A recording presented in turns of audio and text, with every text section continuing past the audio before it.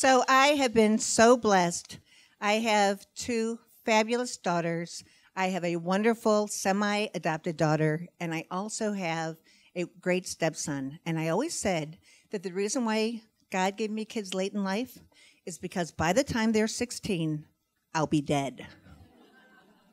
this next story will be a fine example of that. So it was a Saturday morning a bunch of years ago, and I had my two kids in the back seat, safely seatbelted.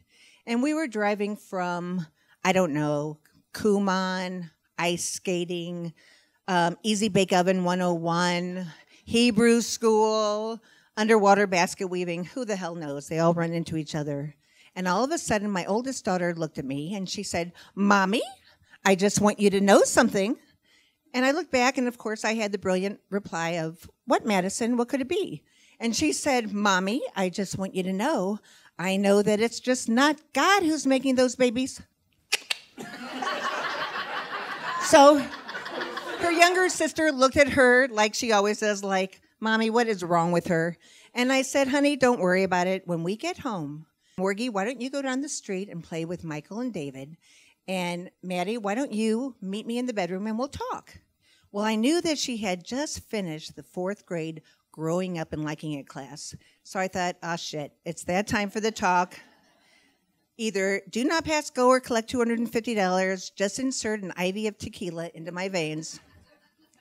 And as I walk down the hall, I see her jumping on the bed, and I'm like, okay, honey, why don't you sit down and why don't you tell me what you were talking about in the car?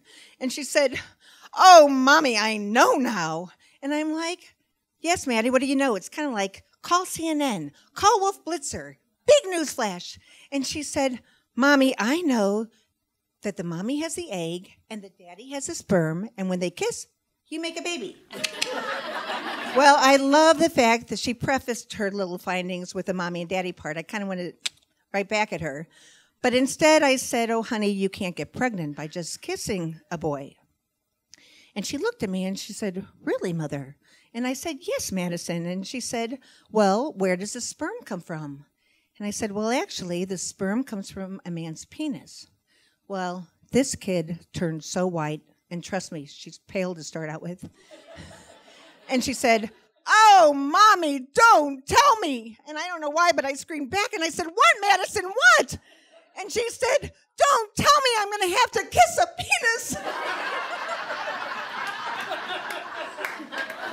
I said, I think people in Peoria probably heard me. And I said, Absolutely not.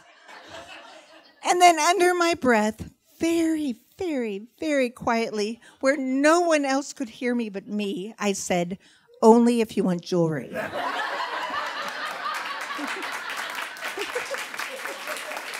so,